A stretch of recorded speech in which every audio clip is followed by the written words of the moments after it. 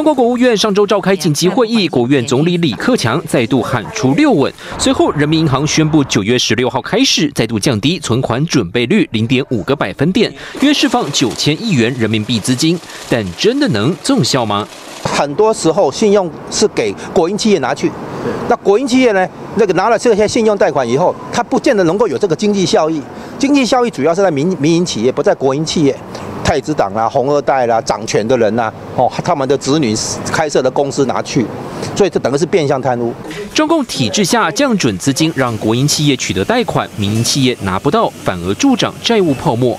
二零一零年，中共为了维持经济成长，四兆人民币刺激经济，衍生地方政府债务以及大量鬼城。外媒《金融时报》报道，未来两年半，中国将到期的地方政府债务总计超过了三点八兆人民币。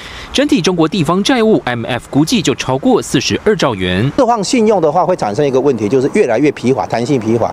降准的话，很多资金估计也会流向房地产，会撑房价。避免房地产泡沫破掉，或或者呢，还有一个东西就是蹭那个地方债的泡沫。吴家龙分析，降准资金转向国企红二代，挤压民间企业生存空间，甚至让民间企业被国企并购。当无法偿还债务时，金融系统将成为下颗未爆弹。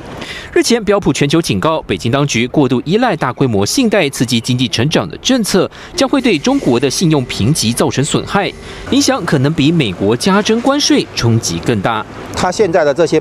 办法坦白讲不不容易产生真正的效果，就是说顶多顶多撑一时，就业机会投外来投资都在减少，都在都在干变干掉了哈，dry 的要变干掉了。中国八月 PMI 降到四十九点五，第二季官方 GDP 创三十年最差纪录。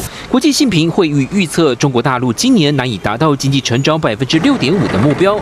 北京维稳经济，年底前恐怕政策还要加码。外界关注反作用力是否可能随时到来。大电视胡宗汉、沈维彤，台湾台北报道。